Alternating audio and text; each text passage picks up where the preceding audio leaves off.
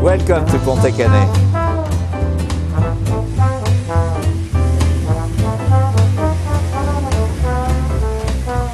And now I'm going to show you some vineyards of Pontet Canet.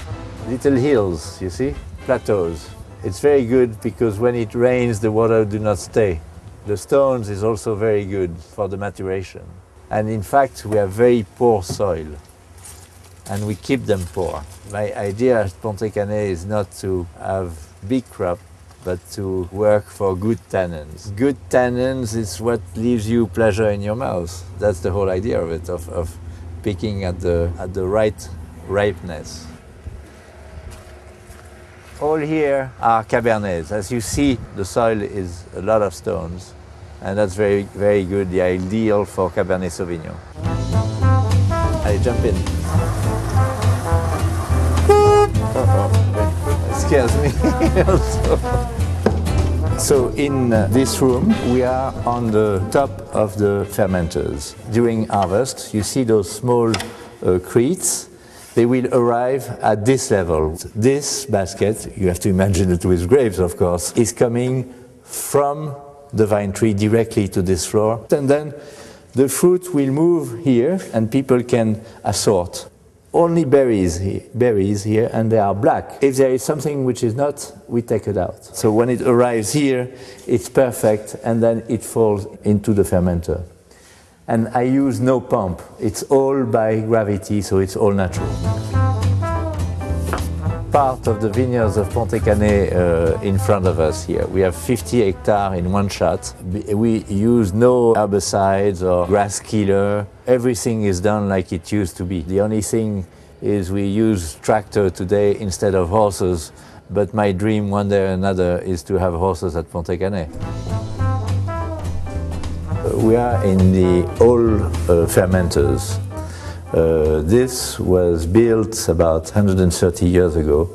All those fermenters here are made of oak. Those are really the ones I love because uh, oak is uh, uh speaks to me. I don't know. Uh, we get along well. Pontet Canet is sizable. We have 80 hectares, which is quite a sizable property. But I like to do all the vinification exactly like if we were in, in, in a small vineyard. The idea is to have every parcel vinified separately, and then it allows us, when it's time to do the assemblage or the blending, you know, the mariage, to really choose what we like uh, for the Grand Vin.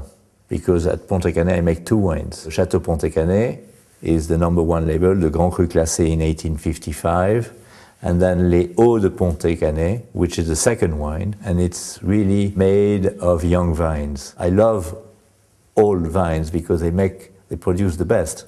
And so Les Hauts de Pontet Canet today is made with vines who are between around 10 years of average age, while Chateau Pontet Canet is made with an average age of 45 years. I always like to decant, you know. Voila. Voila, that's for you. To me, on a great vintage, when grapes have been picked at the right time, Pauillac will make powerful wine, but what is really nice, it's, it's very elegant. It's not made for wine tasting. It's made to sit around the table and have lunch or dinner with and share with friends and you find that when the wines are good, the conversation is always fun. My philosophy of wine is sharing. So cheers to you.